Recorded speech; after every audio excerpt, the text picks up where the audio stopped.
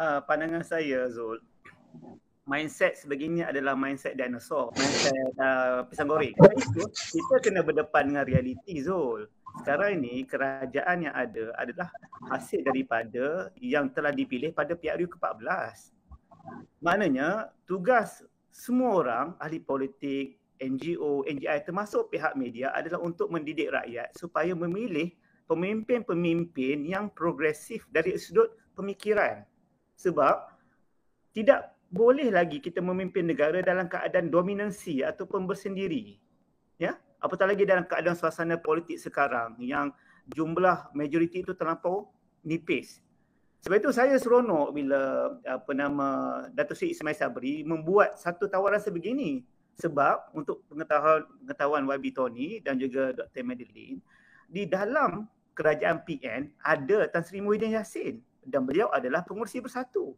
Jadi kalau kita nak bashing dia macam-macam, at the end of the day, dia yang bagi green light untuk buat benda tu. Termasuk juga Presiden PAS yang mewakili 18 ahli parlimennya. Jadi pada saya, uh, bukanya uh, satu tawaran baru ini adalah satu bentuk perkara pemikiran yang baru dan action baru khas kepada pemimpin-pemimpin pemuda akan datang.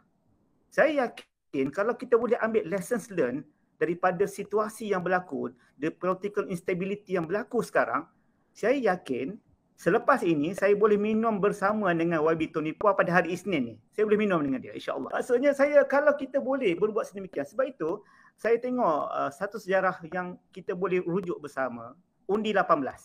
Apabila pada waktu itu kerajaan PH yang Menteri Belia dan Sukannya adalah YB Syed Saddiq. Dia engage dengan kami pemuda PAS minta kami supaya kita convincekan tingkat atas, koridor atas untuk bersama-sama dengan kerajaan PH pada waktu itu untuk bersetuju dengan undi 18. Alhamdulillah dengan perbincangan yang rapi seperti yang Wabi Tony buat sekarang dengan kawan-kawan kami, kita berjaya meyakinkan koridor atas dan akhirnya menjadi satu sejarah apabila usul tersebut diluluskan. Usul yang diangkat oleh kerajaan bersama diluluskan oleh pembangkang mendapat tutup majoriti. Jadi saya yakin sejarah itu boleh berulang. Saya yakin, saya saya optimis dan positif sebab kita sekarang ni telah menjadi um, macam tadi Dr. Madeline kata apa? menjadi bahan kepada rakyat.